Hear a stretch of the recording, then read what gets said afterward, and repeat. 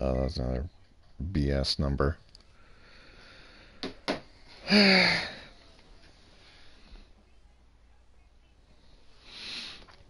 I mean, the way that Ziggler sells, I wouldn't doubt it at all.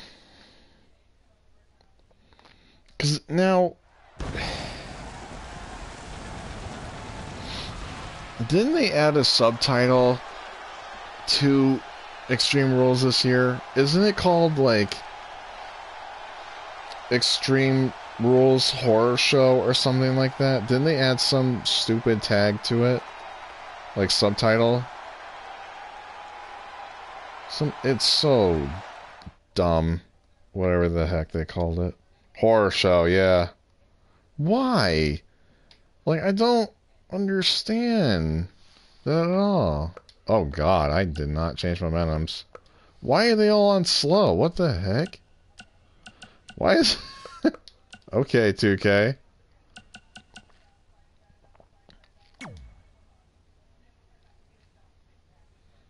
I don't know why their momentums were all on slow. It's so weird.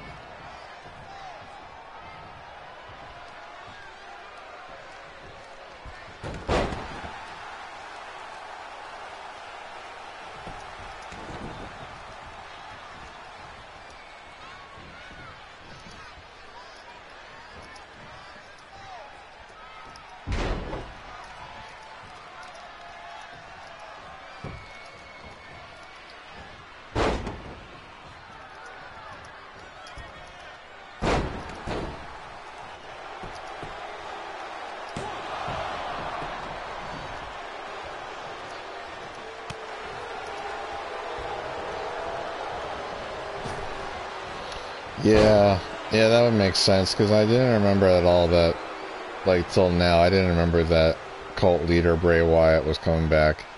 So that would make sense as to why they're um why they build it like that.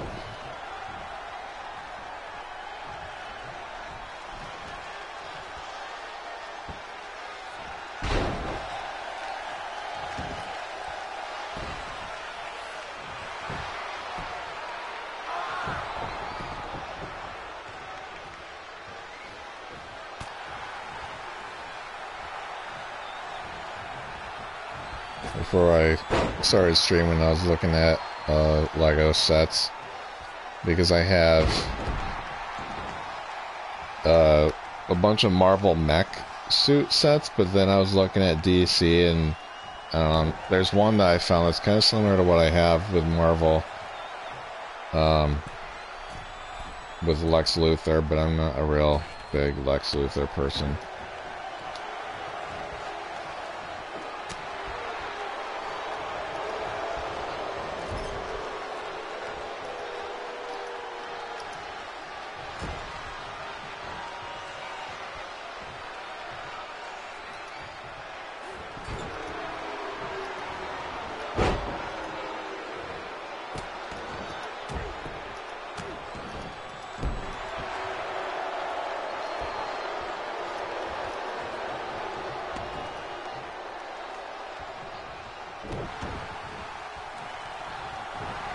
Yeah, because I was thinking that too. Like, what what is going to be the cinematic match for Extreme Rules? And yeah, it would probably be Strowman and Wyatt, probably. Damn, Rusev is gassed out. Holy crap! I'm just noticing. Dang, dude.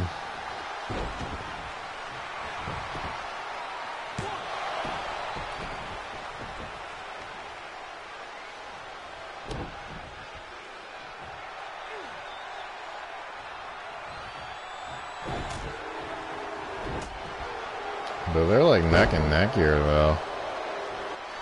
Just Rusev's just exhausted.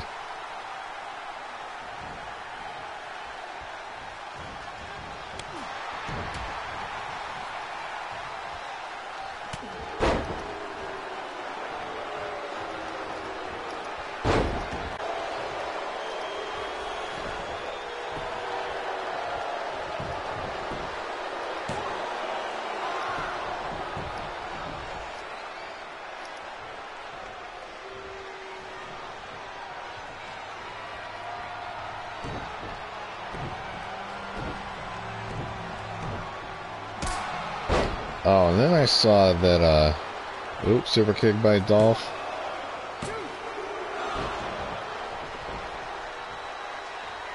I mean, I've been, because I also collect Funko Pops, I was looking at, I've been wanting to get a, a Gabriel Iglesias one, but then now there's going to be a Jeff Dunham one. I'm like, ooh, I need that one too.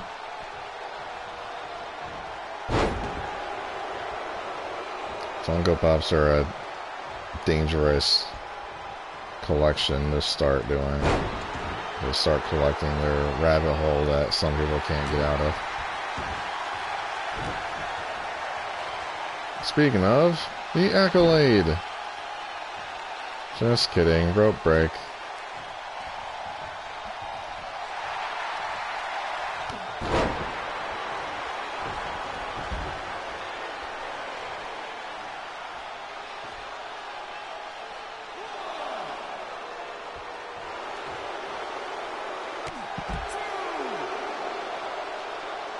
That's what I was saying too, that Ziggler's going over on this. Since Rusev's a former European champion. That he wasn't pinned to lose the title either, so.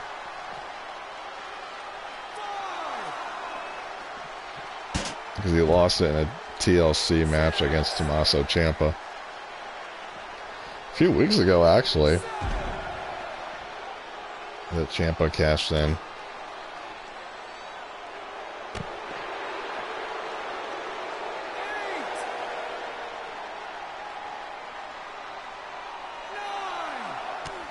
Yeah, it's a count out. Cool. Good job, guys. Now I guess we have a little bit more of a story for SmackDown. Rivalry, I guess, between Ziggler and Rusev.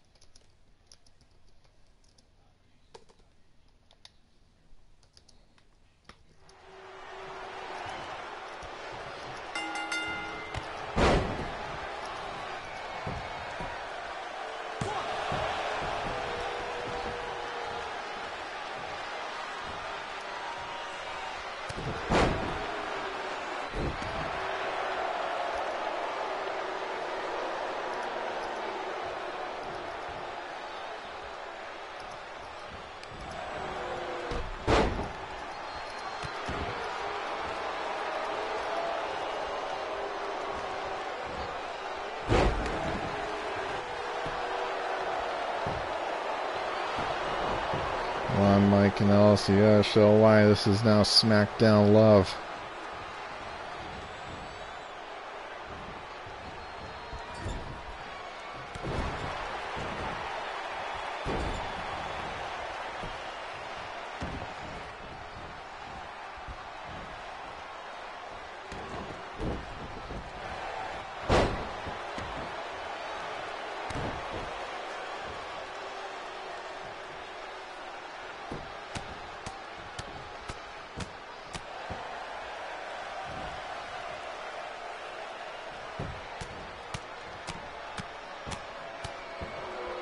Come on, Mike, think of the children.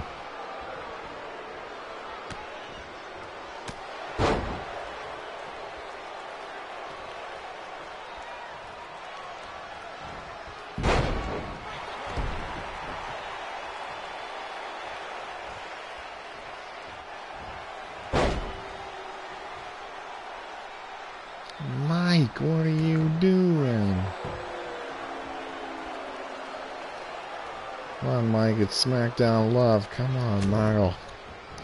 Margo Kanellis. Come on.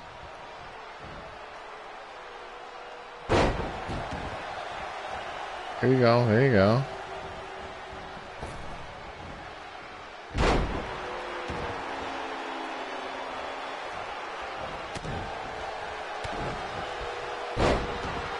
Busted open Eli.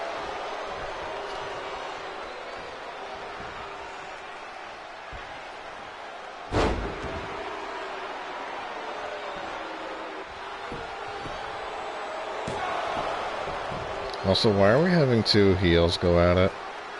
I mean, it doesn't matter, but...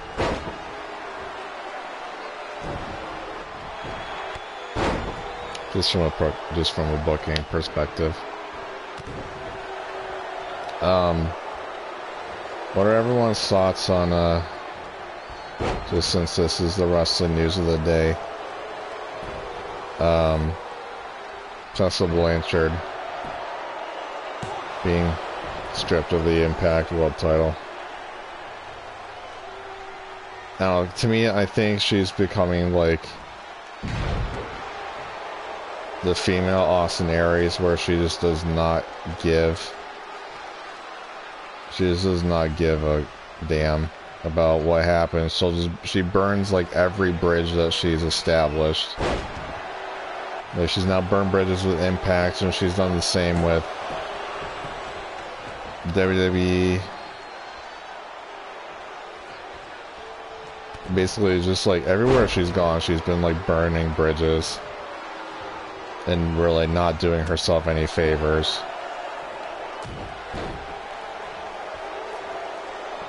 By being unreasonable to work with so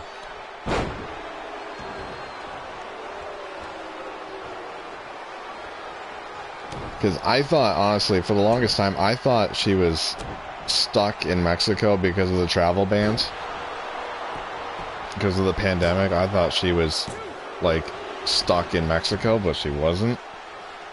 Um, they wanted her to appear during some tapings, but again, because of the nature of the pandemic, like if you don't want, if you don't feel comfortable to come in and work, you don't have to. Like, people respect that decision, but then they wanted her to do video promos and she didn't want to do it.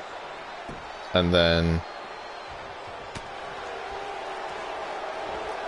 Um, so then after she didn't want to do that, they were like, well, can you come in and drop the title? And she's like, no.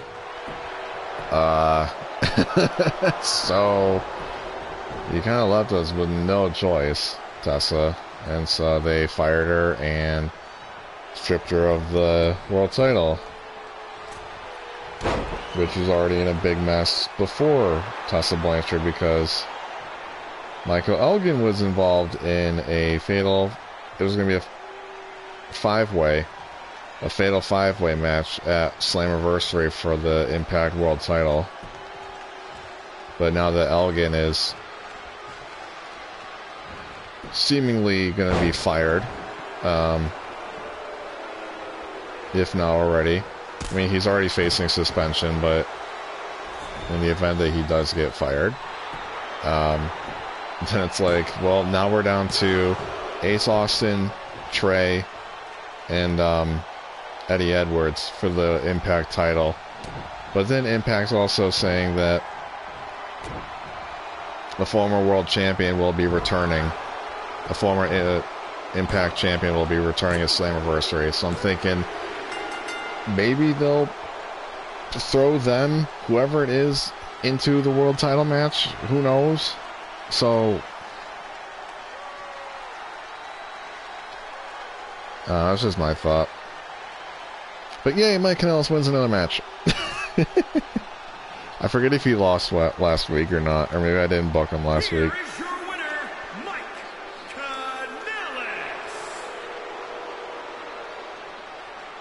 I told you, River. I told you.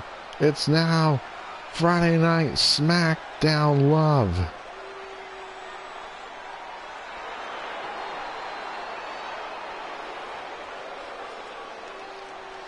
It's Smack.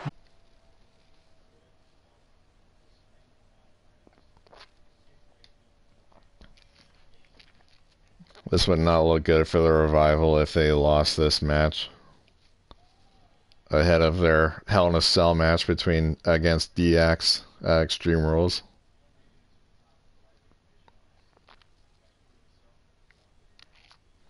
I'm thinking I have like all the all the um all the arenas are custom that I made. But I'm thinking did I play in Extreme Rules yet? And I did. I just don't remember what it looks like.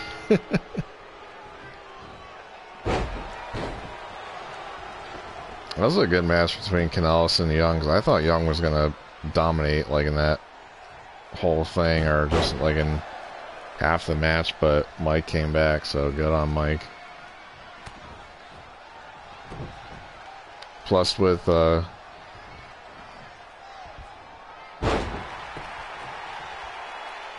Eric Young being almost 10 points higher. And Mike came back. It's like, good on you, dude. Climb the power rankings, Mike. Bobby! Bobby! I'm just gonna be Paul Heyman just yelling things at Bobby. Oh, bro, I just had that as a mental image. Could you imagine Paul Heyman and Bobby Lashley being a thing? Oh, no, dude. I just thought of that. Oh, that'd be... Yeah. That'd be a thing to see. An interesting sight. Lashley and Heyman.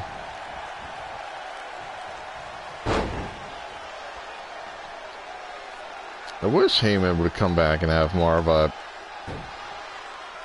role on TV.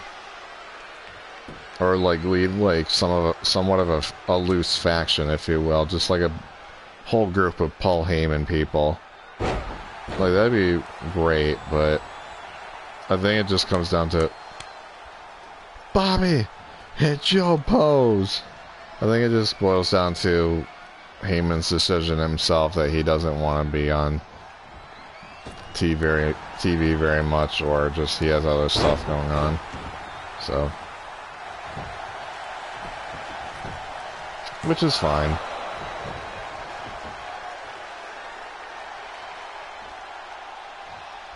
But yeah, it's just in a dream scenario. That'd be really cool, though.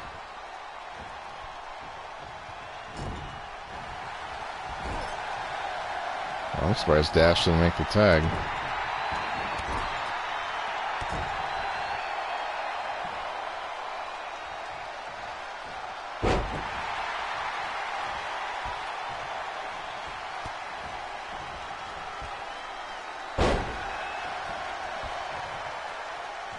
And Bobby's just straight up no selling that signature from Scott Dawson. Just straight up no selling that Tyler driver.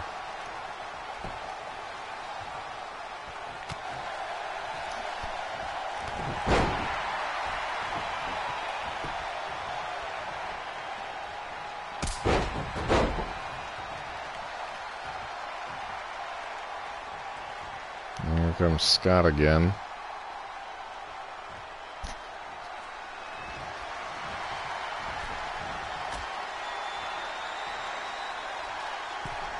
Well, Rip Shelton. Boom.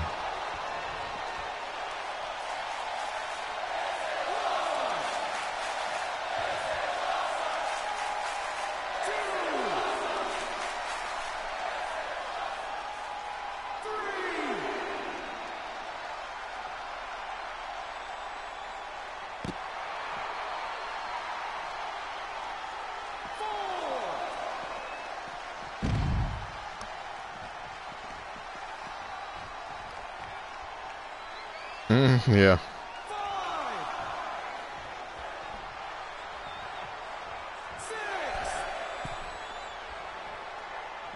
Get him, Shelton. Get him, Shelton.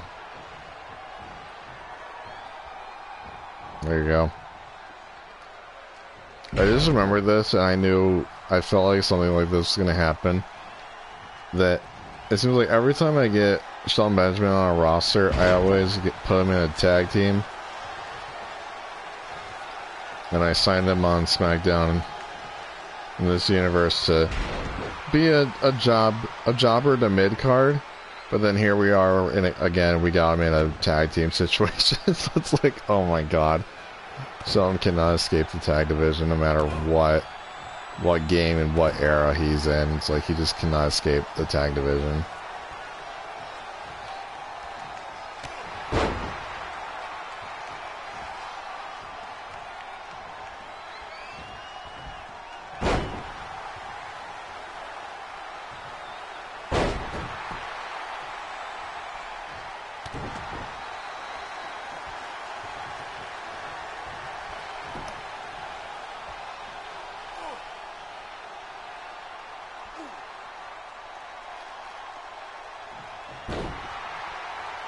Oh yeah, next is that triple threat match.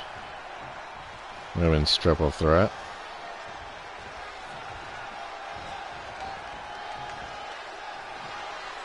I was gonna say, don't put him in his own corner. He wouldn't. You don't want him there. Bobby's busted open somewhere.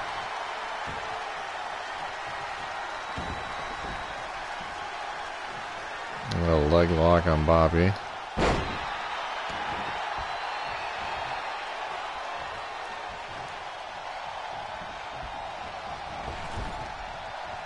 Bobby. It's not Shatter Machine, don't worry.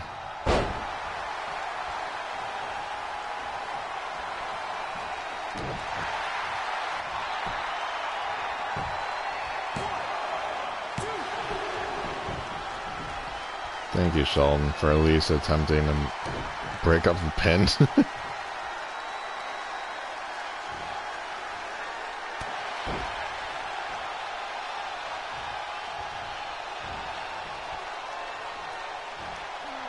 Come on, Bobby. Brainbuster.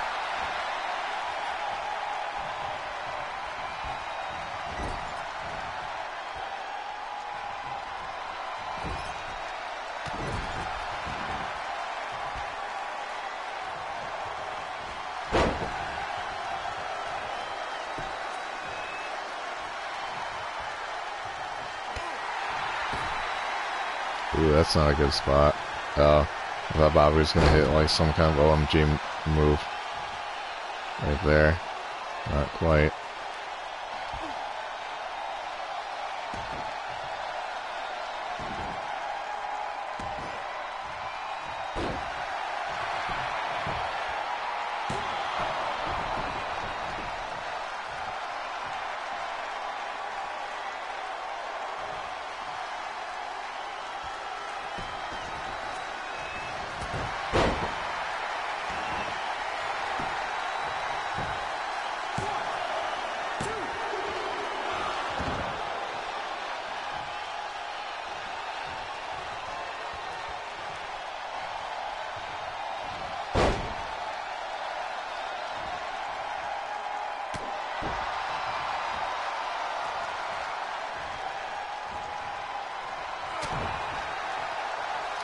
Bobby. Give him the spear.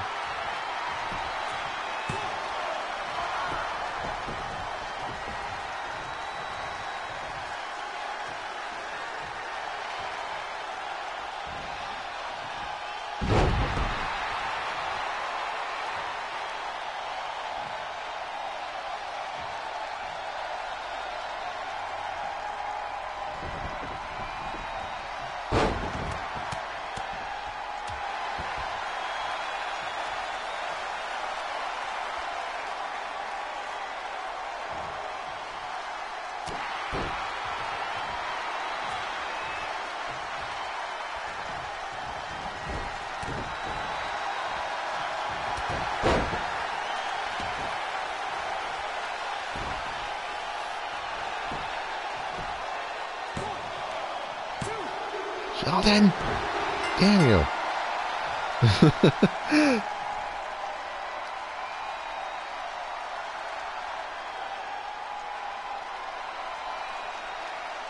well, that was a warm up for a revival. Eh. I don't know. Did he really lose to a chop block? Son of a nut.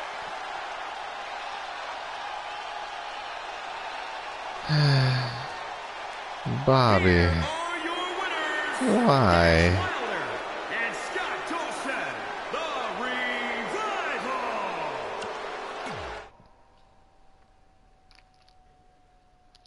All bask his glory, for he is limitless.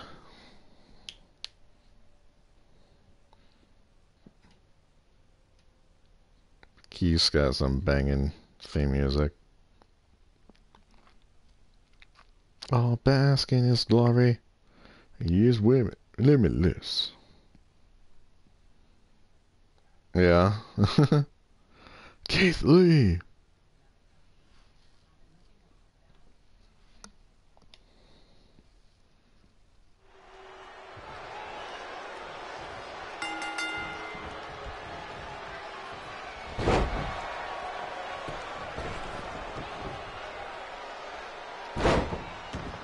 See the code I got. How to dodge quick.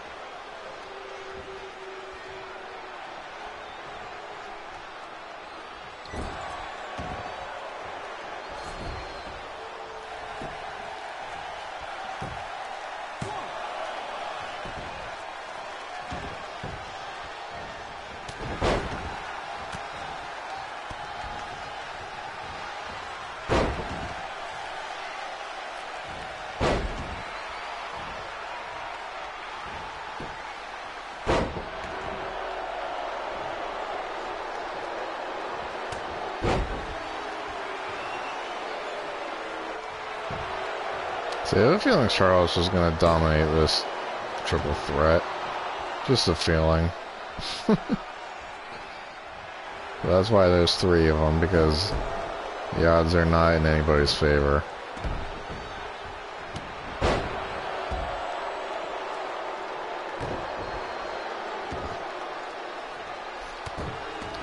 And then also it's coming out that, like, I mean, they, they were writing Charlotte off for a bit, just to give her a break, just because she's been competing on every show imaginable. But, um, yeah, I saw that earlier. That it seemed like that she was going to be off until like SummerSlam, but I guess Charlotte herself's even confirmed that she's going to be off only for a few weeks. And that sounds like she might be back in time for Extreme Rules to go in a program with um, Nia Jax. But we'll see. It's weird because the initial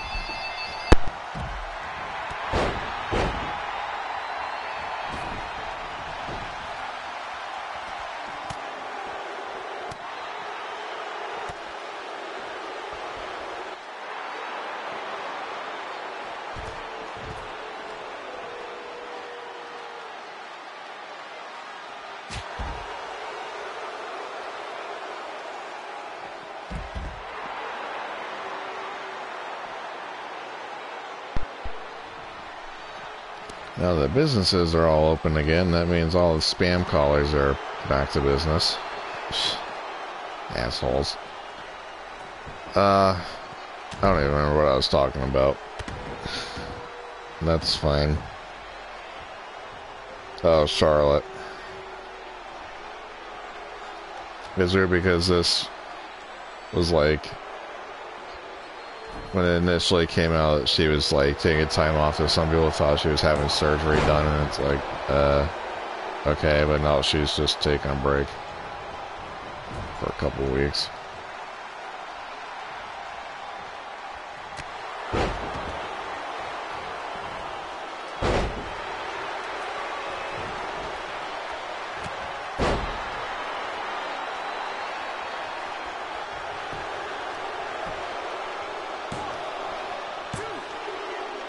God damn Charlotte. I'm not surprised, but come on now.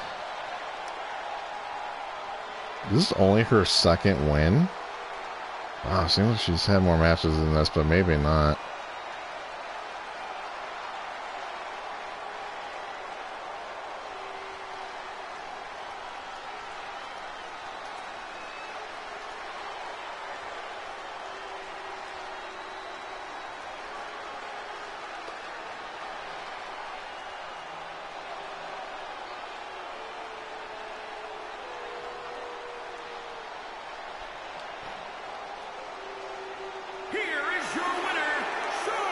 Well, River, you win again.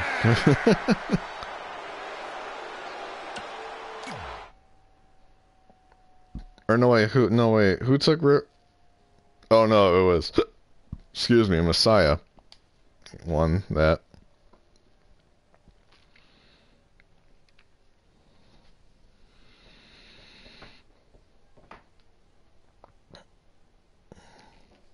I haven't really seen a lot of him to form an opinion. I mean, he's not bad, but I don't know.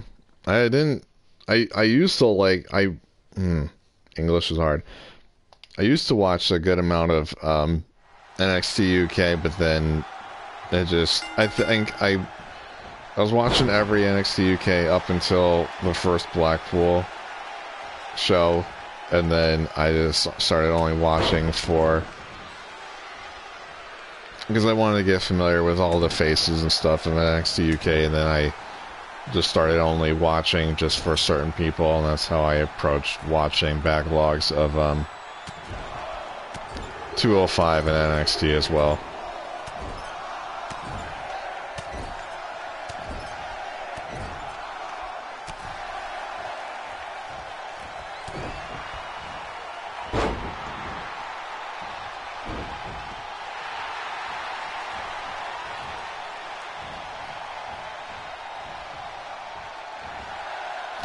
Fox, what's up? And thank you for the follow. I Appreciate it.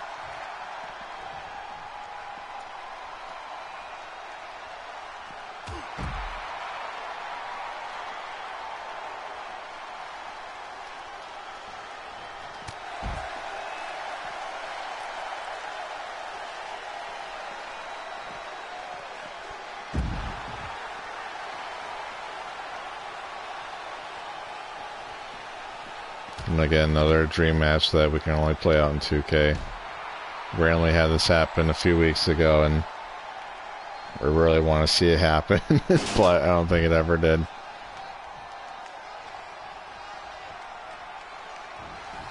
Yeah. Like I was watching um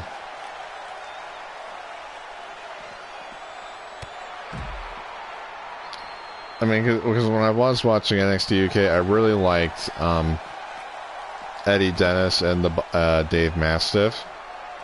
But then Eddie Dennis got injured, and then it seemed like they were cooling off on Dave Mastiff, I think, a little bit.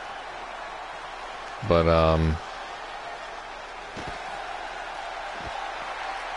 Yeah. Uh, I just kind of fell out a little bit. I mean, I, I like Walter, don't get me wrong, but.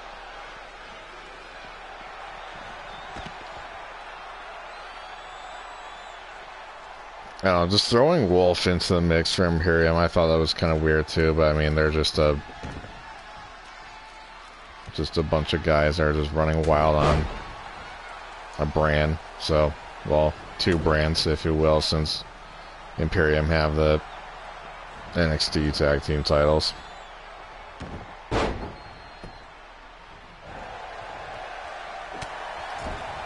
Dang, Angle with a headbutt.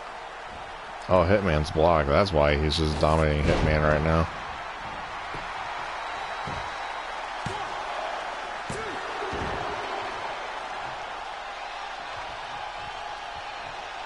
I know, and then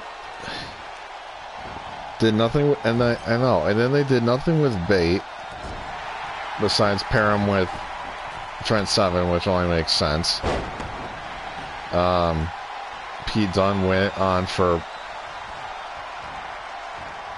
over 400 days as champion, and then quickly simmered, simmered down to nothing until the Dusty Classic happened. Then they won the tag titles, and then obviously with the pandemic, they can't do much of anything, but.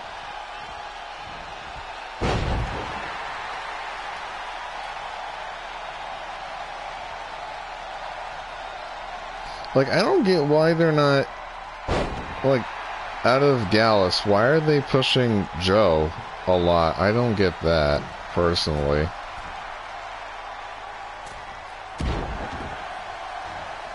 Why? Because he's a tag.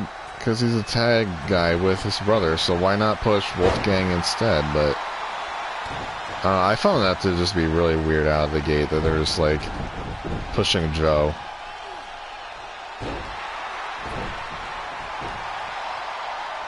For singles, I don't get it.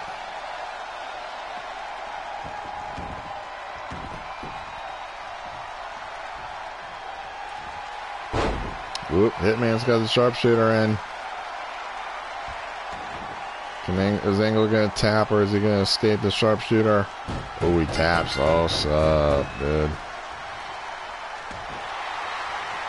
I say that a lot. I don't know why. Dang. Hitman's first win. And it's against Angle.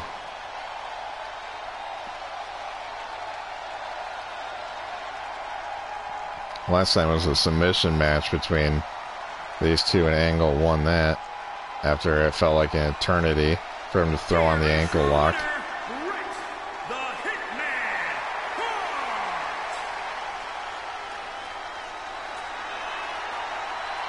I say now, are we gonna get like an AI cash in from Ricochet?